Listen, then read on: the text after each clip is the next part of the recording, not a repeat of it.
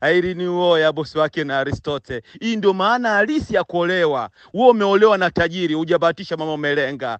Krish anahitaji mdogo wake wa kucheza nao. Umepata mume anayejali familia na marafiki zako akina Aristote. Ah, reception mwezi ujao umealikwa. Watu wa mjini mumealikwa. Shonesheni suti Aristote.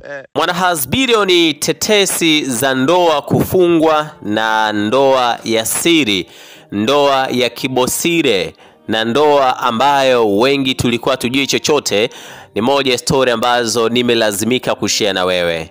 E bwana, e, hii ni noma sana.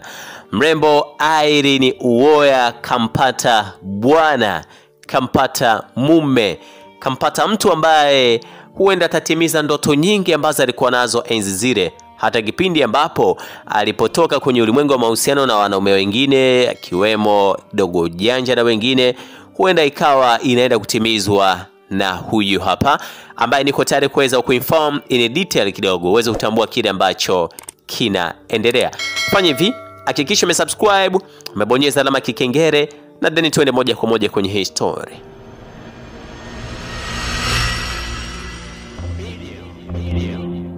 Usi- Usisahau kusubscribe, kulike na kucomment. HBTV.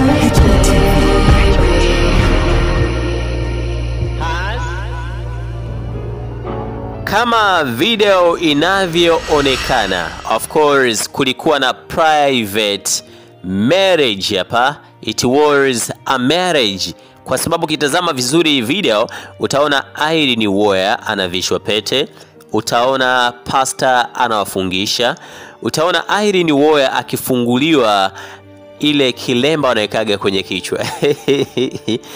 Lakini kikubwa na kinachoweza kuthibitisha utaona Irene Uwoya akiwa anafanya ile deep kiss. Yaani ni mdomo kwa mdomo. Lakini pia utaona namna ambavyo alikuwa ananyenyuliwa kwa mahabati nikahisi maybe ni maigizo. Nikahisi maybe wanatengeneza movie. Nilipoiona deep kiss na video zingine ambazo hatuwezi kuweka hewani nikaanza kujua huenda Irene amempata ini mkari ya nyongo. Aristote akaongezea kuthibitisha, alimposti na akaandika vile vile, akasema hivi: Irene Uwoya, utulie sasa hapo, bosi wangu. Unajiita hii sio kwa Irene Uwoya, yani kwa mtu mwingine yoyote yule Ibrahim ambaye anaisikiliza, hili ni dongo lako anasema unajiita pisikari na haujawahi kumiliki ndoa hata kusingiziwa. My boss lady kasema tukutane mwezi ujao kwenye sherehe ni kupop up champagne. Then comment zikamiminika kama unga. Mimi kazi yangu ilikuwa ni kusogezea hiyo, na kazi yangu ni kuacha pia uendelee na hii. Shukuru Mungu, jambo limekuwa jepesi na mambo tunaanza Jumatatu, yani ugaigai unaanza rasmi Jumatatu na leo tumekuja kuzindua rasmi. Yaman, Neno la ugaigai limekaa Kiswahili sana. Kwa nini ugaigai? ugaigai ni umbambamba Eh, yani ni mambo ya mitaani, yani ni Uswahili, alafu sio ndo Waswahili wenyewe, yani ile kindaki ndaki.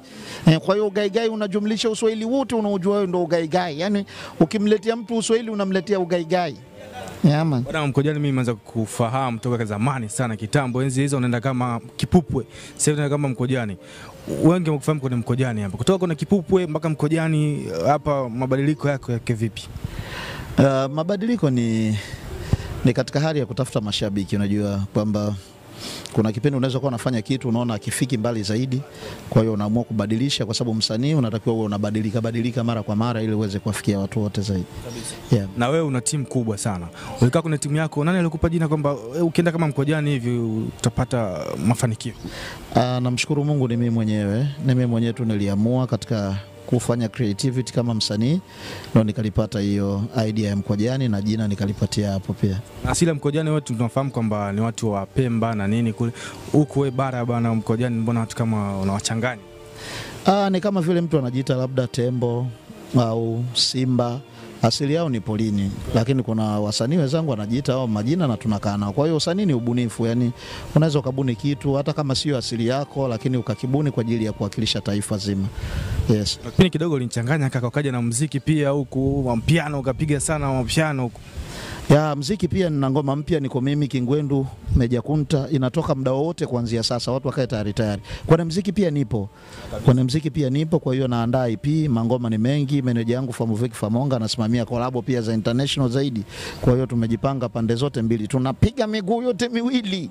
Mziki una mambo mengi kaka. Hivi karibuni siku za katikati hapa, msanii mwenzako naweza kumuita hivyo, Rayvanny alichoma nyumba milioni 15. Huo ni uwekezaji. Kuna mziki wako unaotegemea siku moja labda Mkojani anaweza kaja akawekeza uwekezaji kama huo, kuchoma nyumba labda kuchoma gari na nini, ili kukuza brand yako kama Mkojani. Kwenye video yangu mpya nimevunja kioo cha gari, gari tumeivunja. Vi- Video mpya hiyo ya nyimbo yangu mpya, mimi Kingwendu na Meja Kunta, mtaona uwekezaji ambao tumeufanya. Gari gani? Alteza Alteza. eh. Alteza kama ngapi? Yaani gari kuiharibu kuja kutengeneza si chini ya milioni tatu milioni nne e, bado production bado hujalipa kamera hujalipa crew hujalipa vitu vingine. Kwa hiyo unapoingia kwenye biashara kama hiyo ya mziki lazima ufanye investment. E, kwa hiyo hivyo ni vitu vya kawaida, yani huwezi kufanya biashara ambayo haina mtaji. E, kwa hiyo ni kila mtu anawekeza kutokana na biashara yake inavyokuwa. Hata yule Rayvanny si alianza tulimuona jamani.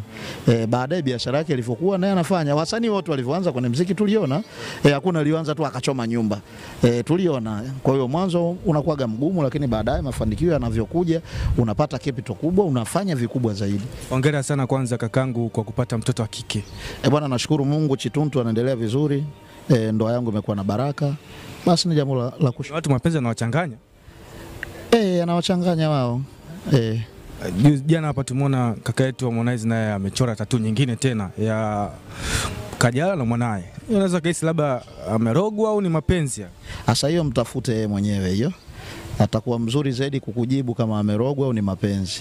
Sababu mimi simjui Harmonize, yani namuona kwenye TV tu, yani sin, sijui chochote kuhusu mambo ya Harmonize. Yes. Hiyo ngoma ya Mwijakunta Kingwendu na wewe mmetumia muda gani kurekodi mkiwa studio? Kwa sababu najua ukikutana wewe na, na Kingwendu, yani hapo katikati hapo lazima yani jokes nyingi sana. Uh, ilikuwa ni project ya zaidi ya masaa 24. Tuliingia siku ya kwanza kuanzia asubuhi, tukakesha mpaka asubuhi, tukawa bado hatujamaliza, tukapumzika, tukarudi tena, kuna vitu tukabadilisha, tukashirikiana. Uzuri studio ilikuwa wasanii wengi wengi, kina Tunda nani wote wakatusupport hivi na hivi na hivi. Kwa ni project ambayo na wasanii wengi nyuma wamechangia mchango hadi tumejiridhisha kwamba hii iko tayari. Mziki nao siku hizi na mambo mengi sana kwenye mziki kakango, sijui kama utaweza. Machaa wengi Mimi nauweza, kigumu kwangu ni Kiingereza tu. Uh, lakini vibakia vyote naviweza. Machaa wengi sana hivi. Ikitokea kwa mfano mtu ambaye anakusapoti wewe kwa muda mrefu sana, kutoka kwenye Kipupwe mpaka Mkojani, alafu mwisho wa siku akaja akakuacha akaenda kushabikia sehemu nyingine.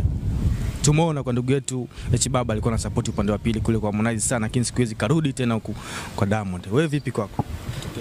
Sasa hiyo sasa tumuulize labda H Baba mwenyewe. Yaani kinachomhusu H Baba ni H Baba. Eh, kinachonihusu mimi ni mimi. E, kwa sababu kama ulivyonitafuta mimi Echi Baba naye ukimtafuta unampata unamuuliza. Eh, bwana Echi Baba kuna hili kuna hili.